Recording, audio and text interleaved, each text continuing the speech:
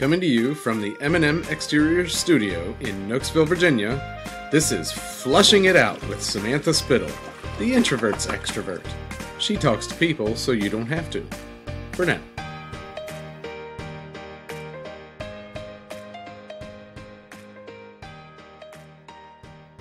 You know what's crazy is my boyfriend doesn't know exactly how much weight I've lost. He's just lost 60 pounds and he was beautiful.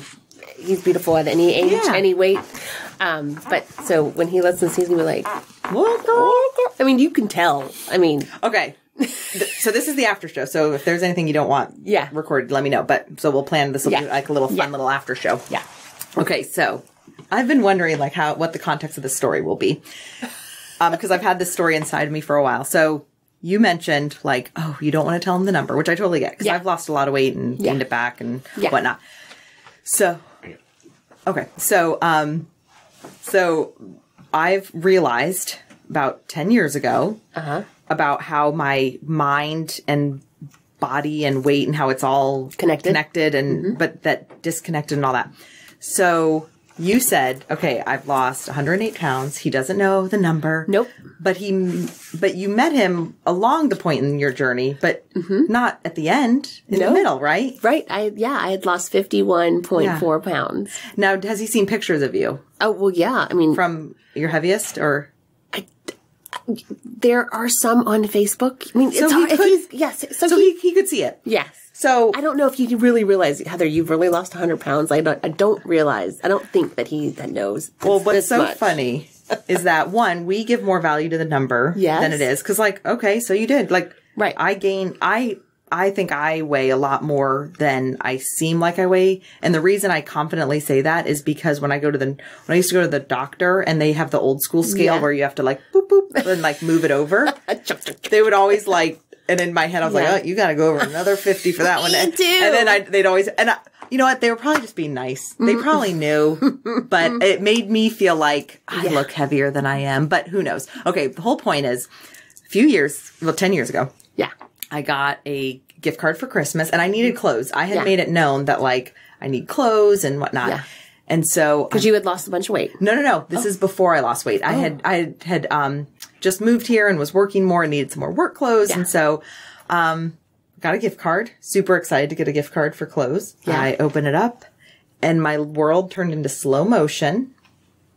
And I opened the card and it said, Lane Bryant. no.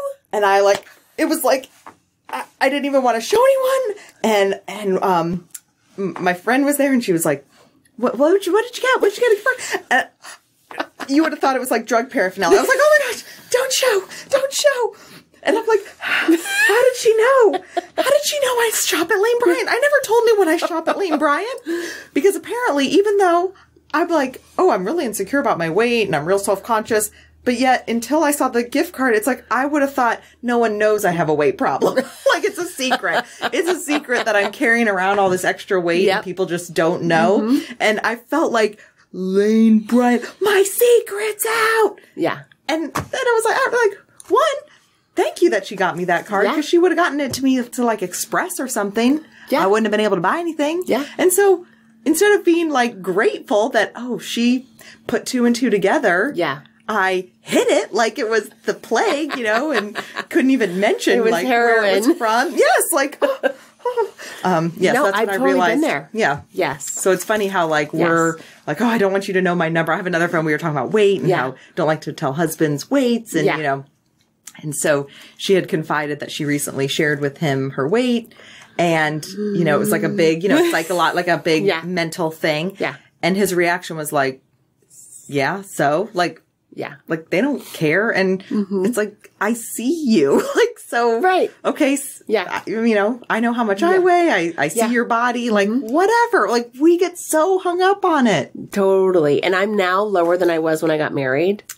Mm. So I'm like, and I can shop in regular stores again. yes I don't really remember when I was, when I got married, I was able to shop at like the Gap. Yeah. Or whatever, like in a regular, a regular Yes. store. But it's a but big deal. that's something that if you're listening to this and you don't relate to it Yeah. then i can't Yeah. then Yeah. enjoy this perspective. But if you get this, you're like, yes, that is Yes. a big deal. Yeah, and even last night I was ordering um, a new robe Mm-hmm. because I ruined my other one, and I'm like looking at the sizes, and I'm like, um, I don't know which size to order because I, I'm hung. I'm like, um, I don't know, and I went with the bigger size, and I'm like, why? And this morning I'm like, Yes. why would you do that? Why? Yes, but but a big part of it, I think, is it's the whole mental thing. Yes. and I think that's pro. I don't know if you're doing this through Scale the Limit, but like it's the mind shift. You have to Mm-hmm. get out of your mind that I think. Um, it, I can only speak for myself, Yeah. but you know, I think I have kind of said, "Oh, I am this person." Yes. Mm-hmm. you know, this this weight, this size, like, Yeah. Mm-hmm. it is part of who I am, and it's not. It's Yeah. You know, and I I think a lot about it, and I I realize over the years that oh, other people don't. They're not as concerned about my weight, No. you know, or I get self conscious, and it's like. Um, people aren't going to be like, her joke was so much fun. Her, it would have been so much funnier if she were 20 pounds less. Right. And you know, I had friends that were like my heavy friends, and then they got it, something shifted when I lost the weight, and it's Yeah. so sad. And I'm like, hmm, hmm, interesting. So I, um, I lost weight in high school and, um, a woman who worked with my dad had said something to me about that, that she's, and, you know, I was glad she shared her wisdom, but it was that your relationships with people could change when you lose weight. And I don't think it's necessarily the weight thing now that I'm older and have different perspective and look at the big picture of things. Like, Right. it's not the weight, it's the mind shift you have. Yes. And it's kind of like when you, if you are a pity party person who sits around and has pity parties and you start to change your mind shift. So it might have nothing to do with your weight, but Mm-hmm. with, especially with the way you're, you've done it because it is a mind shift thing. Yes. It's like you don't want to sit around and complain anymore. Nope. And that is like hey, misery loves company. And I'm not saying Right. anyone's miserable, just using that, Agreed. That term, but it's like you, want to have the shared experience. And Mm-hmm. so You don't want negativity in your life anymore at all, on, at all costs. You know what? I, I appreciate what you're saying, but I'm in a different place now, and I don't really enjoy that anymore. Yeah. So I'm it's really- hard. I'm It's hard. sorry, but not really. Yeah. Sorry, not sorry. Sorry. Because when you talk about negative things, bad things happen. When you talk about good, positive things, the energy Yes. keeps you in a better place. Mm-hmm. so true. You attract more Yes. things. Yes. Honey, you have any questions, insight? I got a, I got a few things Oh written man, down. that's, that's you sound so loud. I'm sorry. Um, what was I going to say about you with? Oh, what is the term for long term for maintenance? Once you fit, like you know, so are Maintenance. you are you still in lose mode? I am right now. And then how do you see yourself with long term success? So here's a question for so maintenance. You're going to eat these foods, da da da. da. Yeah. So my life, because my weight fluctuates, I can kind of say, oh, this happened. This is kind of, I thought I was on the plan. I thought I, and not, and not a specific plan, but just, Yeah. fig- you know, I've gone through the food journals and find what works for me and stuff like that. But I think that there's some emotional triggers I need to still deal with because when certain life stress, you know, health, things like that kind of got me out of whack. And so once again, it's a learning opportunity. Every setback is a setup for a comeback. That's You're right, welcome, everyone. You're welcome. Take that Say that again. again. Um, so every setback is a setup for a comeback. You're welcome. Um, so I feel like for me personally, okay, okay, these are some areas I still need to work on. So being on the journey you've been on. Yes. Having life experience, having relationship changes. What are some things to protect yourself for emotional triggers in the future? I think really being honest with yourself 100% of the time. Hmm. And knowing that, oh, and knowing that, that whatever you want to eat, like mine is food related and sugar related. It really is. I know. It's, I know. it's not worth it. I mean, for special holidays or special occasions, yes. Yeah. But you, I have to get right back on the horse as soon as I'm back in my normal environment. If I'm on vacation, Mm-hmm. it's you know a more of you know more more of a chance to splurge, and I Mm-hmm. deserve this. I've been working so hard. But as soon as Sunday rolls around, I've got to get back on the horse. I've got to go to Wegmans and I've got to meal plan and Mm-hmm. make all of my food and put it in my containers and put them in the refrigerator Yes. so that when I'm hungry at 11 a.m. on Monday morning Mm-hmm. and, you know, I'm coming down from the sugar detox or whatever I've, bad thing I've eaten or alcohol I've drank or whatever it is, there's no excuses. Oh, I'm not prepared. No excuses. Yeah. Why? Because then it that turns into more bad choices, and then before you know it, ten pounds is back. Or I wind up on the. Uh, I'll start tomorrow. I'll start tomorrow. That's that's what. That's where I trip up. Yeah. Yep. Yeah, and it's so much easier for men to lose weight. I mean, I know that's a stereotype, but it's true. It's true. Yeah. It is true. Oh, yeah. Yeah, Jeremy it is like true. makes a little change and he's like, Oh, I'm down 10 pounds. Yes. I'm like, I made a change and I'm up a pound. So what, um, It's muscle. it's muscle. It's yeah, muscle. exactly. Um, what is it about the meditation and mind? What's the mind shift, mindset shift?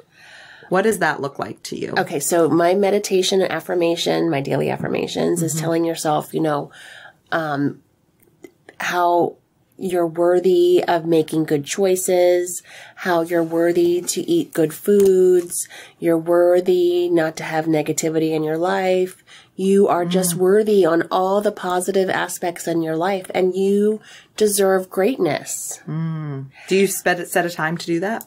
try to do it in the morning mm-hmm. before any you know before i'm talking to anyone or um, i do meditation for at least five minutes in the morning. You know i turn my phone off and has Do you have alarm. anything? Like, do you have a guided meditation or just nice silence? oh nice silence. I need total silence. I can't even have music on or else my mind starts to wander. Yes. and that's okay too because not every day you can meditate properly.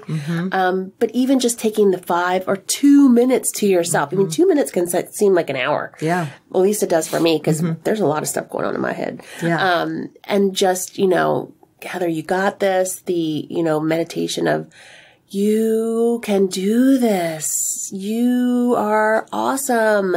Don't let any negativity hold you back. Did it, is it, so was the scale the limit, um, format help, did that help you with the mindset shift? Yes, because I have a lot of food triggers from my past. And mm. being young and being, you know, I was always the tallest one in my class. You know, I'm 5'10 mm-hmm. and I was always in the center back row. And like I would, my grandmother would say, you know, are you sure you really want to eat that? Or I'd, she'd put me on the scale and, you know, I'd be like, you know, five, eight and 140. And she's like, I weigh 150. You're only 10 pounds less than me and you're 10 years old, you oh, know. Oh, gosh. But that was the different mentality. Yes. Not that she did anything wrong. It's Yeah. just what she didn't want me to have those struggles. But, you know, since I was 10, I was told that I was heavy and I really wasn't. And I'm like, I was just tall and big and Yep. growing into something. And Yeah, but it but it planted the seeds that you are heavy. So then you just become a self fulfilling prophecy. Exactly. You that you manifest heavy. that you're heavy. hmm And even when you think that you're heavy, like when you look back at, you know, pictures of yourself when you were like in high school and you thought you were this Amazon woman and you're like, damn, what I wouldn't give to be that size 10, ag- 10 again, which is in fact my goal. Um, now, and I'm almost there. Um, Oh, that's great. How are you? but yeah, so just really got to be love, loving to yourself and mm-hmm. kind to yourself and, Was your self talk before you started really negative? Oh, it was terrible. Mm. My self talk was awful. And I'm sure, you know, like mm-hmm. uh, so many people tell me, if you only knew what I said to myself, mm-hmm. you'd be like, oh my gosh. It's a you know, and they say if you talk to a friend the way you talk to yourself, you know, and oh. I think saying it out loud is powerful. yes. yes. Like and get it out, hear yourself saying it to yourself. Yes, You're like, oh dang, that Right. sounded really harsh. It did. And it, it would. And if you are in a toxic relationship and you have negative self talk coming from that other person, like, I'm going to teach you a lesson or that, that was wrong, Heather, or, you know, why would you think that? Or you're a bad mother or whatever that negative person said to you, you start to believe it. You're like, oh mm-hmm. my God, And no one I- talks about it too. So I appreciate you being willing to talk about a toxic relationship because Yes. it's a delicate subject. It's hard for people to talk about. Yes. But when you're in a toxic relationship, yes.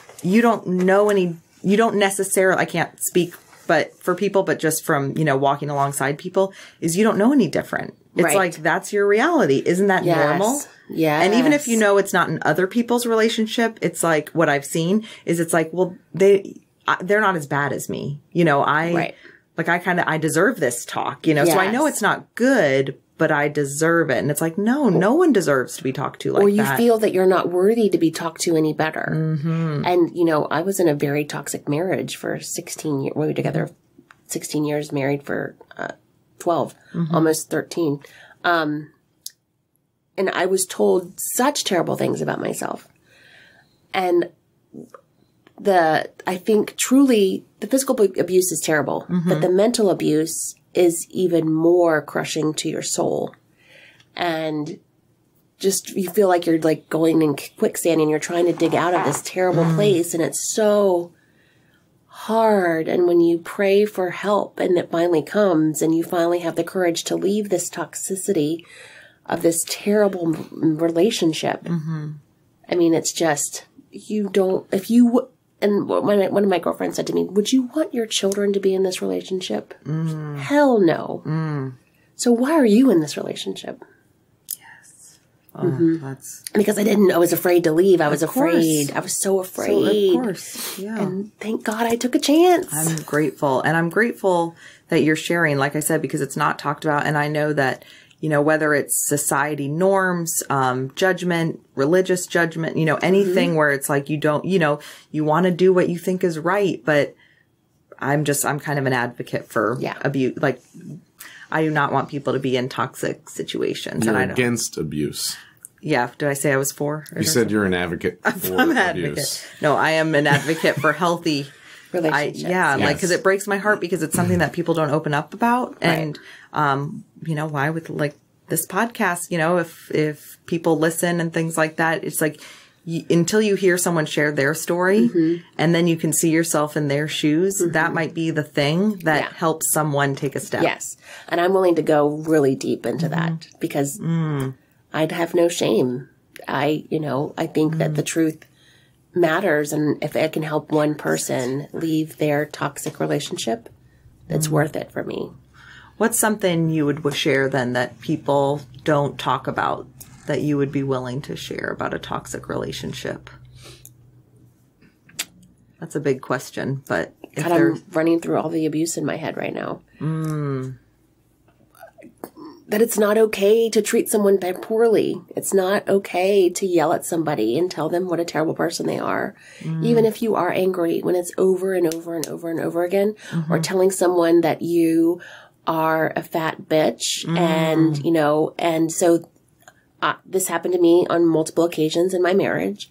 And one morning I woke up and was like, you know what? I'm going to go for a walk before my son wakes up, mm-hmm. before my husband wakes up, and I'm going to do something for myself. So I purposely set the alarm and I got up at six, went out the door, came back at seven, and then I'm greeted with a crying son and a raging, angry husband who is so furious that I have interrupted his sleep. And how dare I not be there for our son? And it's a Saturday morning. And so I'm going to teach you a lesson of how not to, you know, how you need, you have a priority and you need to take care of your son first and foremost. And you weren't there and you're a terrible mother. So I'm going to beat it out of you that you are a terrible person and how dare you. I'm so sorry, Heather. And I don't mean to. I don't. I hate. Yeah, maybe that was way too much information, No, but I appreciate happens. it. No, and that's why you know I only apologize because it's one of those things that I don't want to ask a question lighthearted. You know, Yeah. Hey, let, just take me back there, Right. Because this effing sucks, and I'm Yeah. sorry, Yeah. and I hate it. Yeah, but you, you, you know, he's calling me these terrible things, and he throws his hands around my neck and was like strangling me, and I knew, I knew that he couldn't hold me up against the closet door if I lifted up my feet because I was too heavy, and so I lifted my feet up, and I was able to save my life. And it's things like that that you know, and your neighbors come and knock on your door, you know, because they hear the screaming and the yelling, and they they're like, "Is everything okay?" And you have a scarf around your neck because you're afraid to tell your police officer neighbors that you're afraid to call the police because you don't want people to talk. You don't want people to mm. talk about you behind your back, and you want to put up this facade that your life is perfect, and it's mm. not. So you just never know what's going on behind closed doors. Yes. I think that goes back to something you said that I wrote down. Reality has exceeded your expectations. Yeah. And living in the light, mm. sharing all that stuff, it's Yes. truth. I think it's living in truth. You know what I mean? Like, Yes. like Yes. the way it's intended to be, like marriage, and that's my big thing, and why I I'm not a theologian by any means, but it breaks my heart when people are in toxic relationships, and it's you know, oh, God doesn't want us to get divorced. Like God does not. That is not a marriage, and that's why Shannon McGurk. He, he was in one of our episodes and he talked about divorce. I don't know if it actually made it on the episode or not, but we talked about that because, you know, he talked about staying together for marriage for the kids that like, yes, that is a good reason to stay in a marriage. And I got a little like, whoa, but he explained it. He said, not if it's a toxic relationship. I don't know what words he used. Right. But it was like music to my ears because he talked about what marriage is. And so, you know, we all have different beliefs and things like that. So you do what works mm-hmm. for you. But, you know, he was talking about it through a religious lens and, and through like spiritual lens with, and it's like, if you guys, if like each side has to hold up its end of what a marriage is. Yeah. And so God, I've said, God does not want you in an abusive relationship, whether it's physical, whether it's verbal, mental, and verbal abuse too. And I'm definitely no expert. I need to have an expert on, but verbal abuse isn't always yelling mean things either. Right. It's manipulation. It's gaslighting and stuff. So, Yes. you know, I just, I Yes. am like, if you hear yourself, that's why I'm, thank you for sharing. Thank you for sharing the hard and the bad stuff because that's the thing that no one can talk about. How do you show up at a, you know, a meeting where everyone's positive and great day and da da da and, you know, you went through what you shared the night before maybe, you know? Yes. You just Yes. never know. You just never know what goes on behind closed doors. Mm-hmm. Hmm. You can put on the white picket fence, 2.5 kids, mm-hmm. you know, but is it really that wonderful in your house? It is in my house now mm-hmm. because Yeah. I won't settle for anything like that ever again. Mm-hmm. Period. The end. There are no buts. There are no more excuses. You know, maybe I just didn't love him enough that day. Maybe, oh my God, I'm a terrible person. I really mm-hmm. should have worked out a schedule. I should have just taken my son with me to go for a walk, but he was sleeping too. I didn't want to disturb anybody. I didn't want to ruin anybody's day. I mm-hmm. wanted to do something for myself, and how dare I? How dare you? Yeah. Mm. How dare I? Heather, thank you. Thank you for being willing to share because it is, and I'm sorry you had to go through that, but I'm so thankful that you have continued to put one foot in front of the other Thank you. make these changes. I'm grateful for every experience I've had, truly, Yeah. because I wouldn't be where I am today. Well, that's why, I mean, the, what gets me through is that God uses all for good, you know, Yes. or, or, you know, that the universe makes all things right, whatever, you know, Yeah. but like, I just truly feel that, you know, when bad things happen, I don't think there's an explanation for it. I don't think it, mm-hmm. you know, necessarily had like, you know, but I think it will be made good. And so I'm grateful that you've done that and then have the ability to share it because you talked about the shame. Yeah. It's like one of the big things that I've talked about with the show is that, you know, how do we talk about things delicately? Because not, we can't all put our, as I, because I curse sometimes when I get passionate.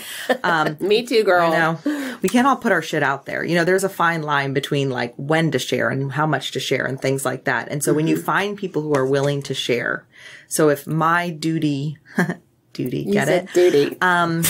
You know, if I am meant to erase the shame of shitting your pants so I can introduce myself and then that, um, but and so that people can shake your hand and go, "You're the girl that crapped your pants." me. Nice to meet Yeah. you. Um, but that's just the surface. I have so much more I could share. And, um, but that's the thing. That's like a trivial example. That's like a total BS example of something that you share that helps start lifting the shame. yes. But this, you know, with what you're willing to share, I mean, this is the stuff that if no one else talks about it, so whether it's something trivial Yeah. or something real, like this is affecting your, your life, your life.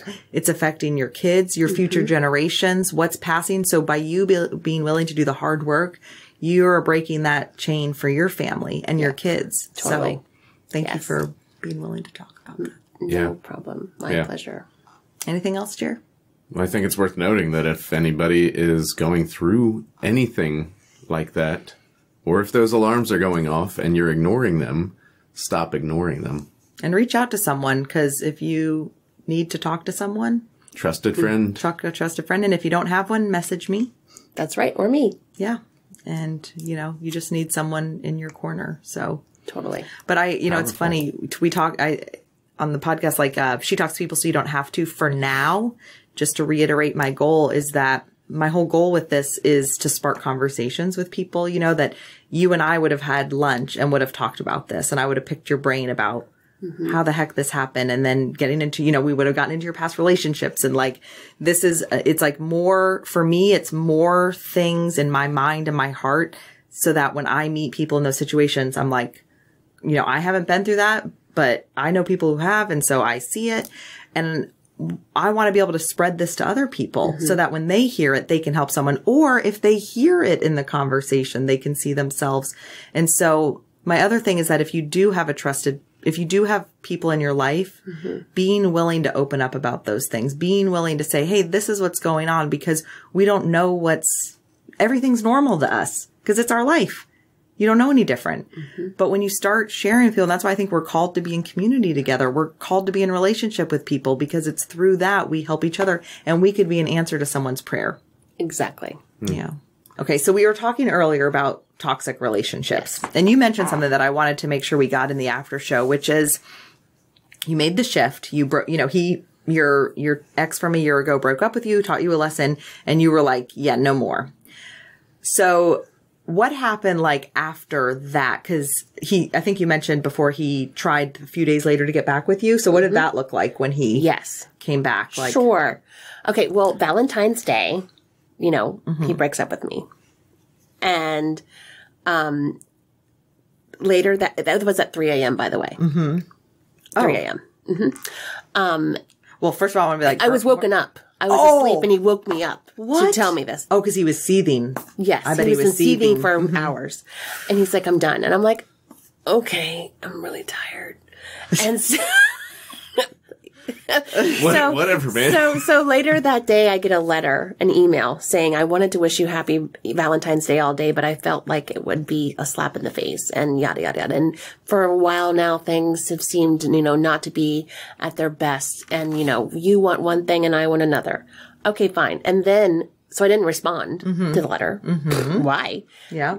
And then the next day, you know, at five eleven a.m., mm-hmm. I get the phone call, phone call, phone call. I'm not answering the phone on a Saturday morning at five eleven, and um, and then at nine a.m., like texts are just coming up like crazy, and I was like.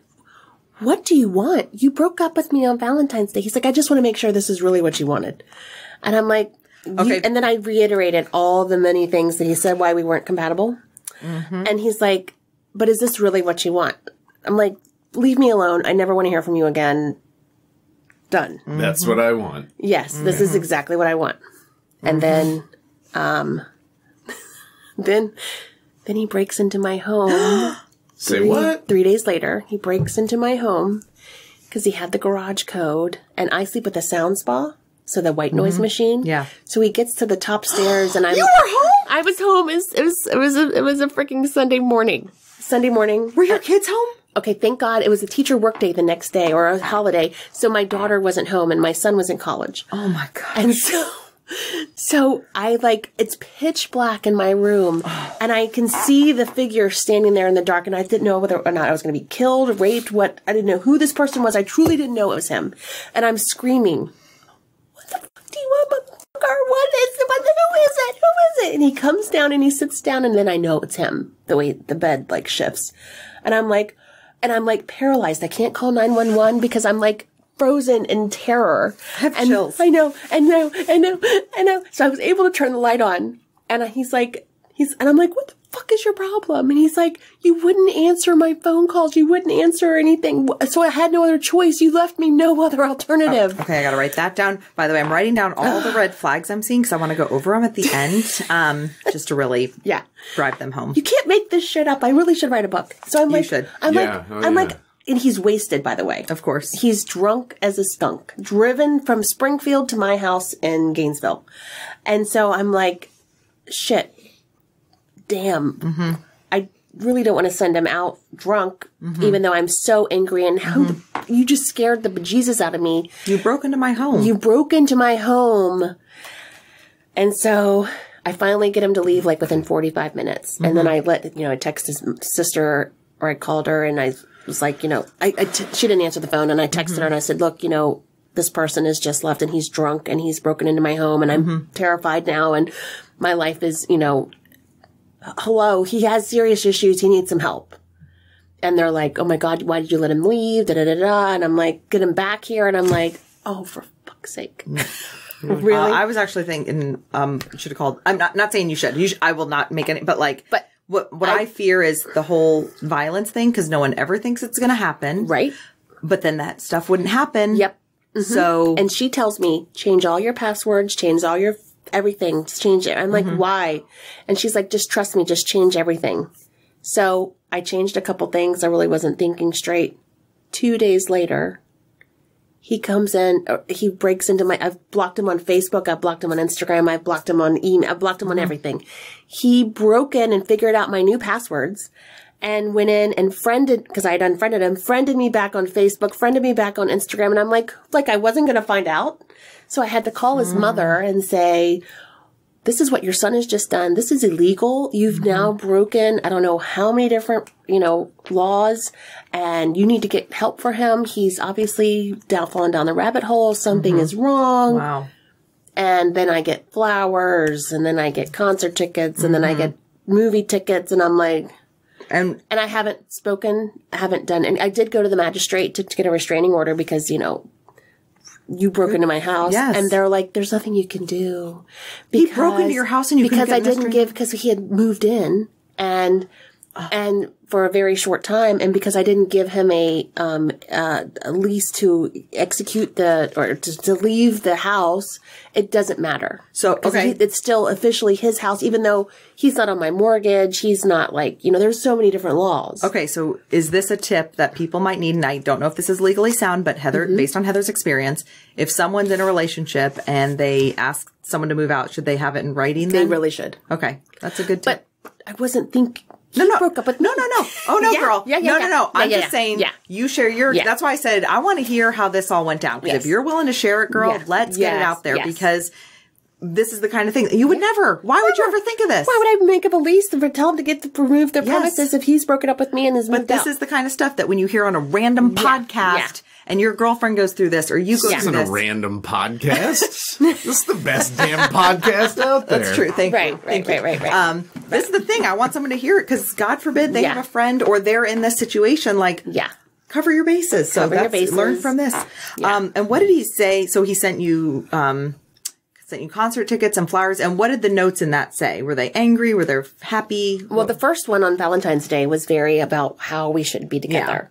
Then the next morning at 5:11 when he's calling me and I didn't answer the phone and he's texting me, "Is this really what you want?" da da da da da. And I'm like, mm, and I reiterated the letter and Yeah. was like, "Well, you said this and this, is terrible and this isn't going to happen and you want this, this, and this and you feel I'm in a different." And a, a ring was oh he had taken me to go get an engagement ring in August 1st and he had like. He was like, "It's coming, it's coming, it's coming," you know. And I'm thinking every day, "Am I am I worthy for the ring today? Am I worthy for the ring?" Like he's manipulated me to think Oh, so- to like think, you know, one way. Mm. And it never came. And I was like, also done. Like, Mm-hmm. why are you holding this? Why are you dangling this carrot over this carrot ring? um, that too. um, over me, like I'm not worthy. And when I'm, you know, whipped into shape and when I'm taught a lesson, then I'll be worthy, whatever. Mm-hmm. So But when he when the tickets came, they were Yes. like nicer messages, right? Like Oh, "You're like so nothing, nothing would make me happier if you would accompany me to this Mm. this concert. And there's no other person in the world I'd rather be by my side. You know, we can just go as friends. And I also I know I owe you a trip to Cancun that I'd given you. Th- You know, three Christmases ago on a piece of paper that said we're going to go to Cancun sometime in the future, and I and I wanted to so desperately see you at the coffee shop, and just we can be friends. Like Did you ever write back? You broke in to my house and scared the shit out of me. Oh, um, I let his mother know and Mm-hmm. his sister know, and I yeah, I think I did say I think I did text. You know, you've lost your mind. I was, but that's what's scary is You- he I did. thought I, I thought you were going to kill me. I didn't know who Yeah. you were. yeah. I you could have had a gun. You could have had a knife, chop me up in little pieces. You know, thank God my daughter wasn't home because I screamed. Yes. Or at least I tried to scream like I've never screamed. But you have no voice, and that when you're that scared and terrified. Yes. But that's the thing. Like, But It he is I was scary. upset. Yes, Yeah. but but that's what's scary is that when when the people do like I have there's a like a joke and I don't mean to make light of it and Mm-hmm. I feel the more I learn about life, oh, I can't even like I have a policy, no Dateline shit. Like Yeah. anything you see on Dateline, don't do it. Yeah. But I think that's why I have such a passion for this because everyone thinks, oh no, not this situation. It, that wouldn't ever happen.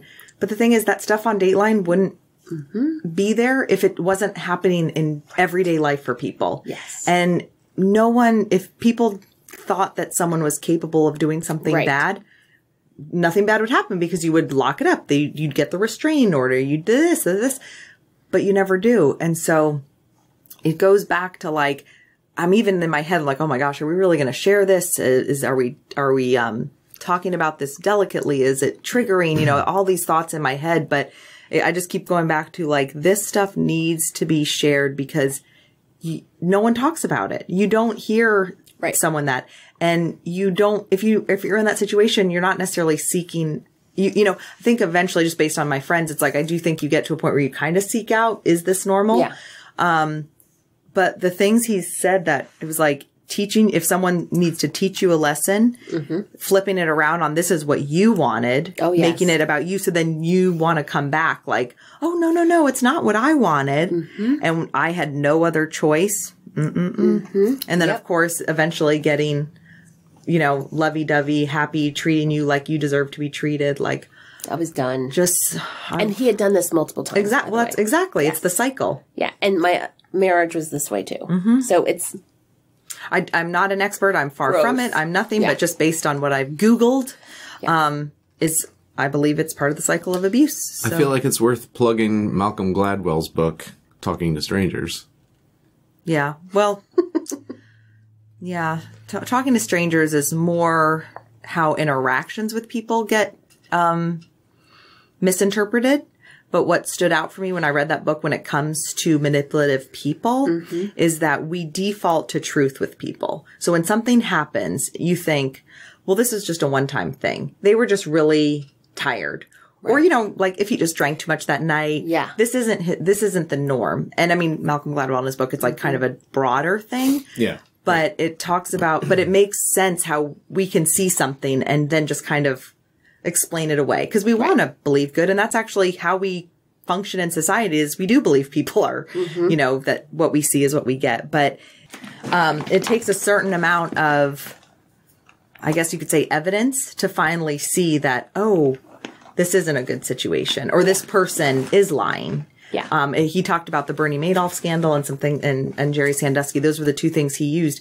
How ever there was so much evidence against these people, but that each it only looked like so much evidence when it was all put together, right. because each individual it wasn't. And so, um, I mean, I think abusive situations are different, but it's that. It's, but it's the person. And if you're the only one having that experience with that person, I think mm-hmm. you belittle your own inter- interaction with them. You think, oh, it's just me. Mm-hmm. I deserve this, yada, yada. Right. But then, you know, when you see a pattern of behavior, Yes. it changes. And his sister said, You need to go change all your passwords. Don't ask me any questions. Mm-hmm. And I'm like, Yeah. yes. yes. Oh, Yeah. Mm-hmm. Well, man, thank you. Oh, thank you, thank you. Cause, you know, this is just, it's a heavy topic and I never want to make light of it, but I am so, it is so heavy on my heart because, like I said, I feel like the premise of the show is silly, Mm-hmm. but it's, I just think that when you, if you're willing to, to go places, and I've said before, you know, if you're willing to go into the cracks, um, just, you got to go there because Yeah. that's, you know, You can help somebody else. Mm-hmm. Yeah. being willing to share your story if if you're able to. Well, thank you, Heather. Thank you so much for your you. time. Thank you for your heart, and um, thank you for all the tips too. You are welcome. My pleasure.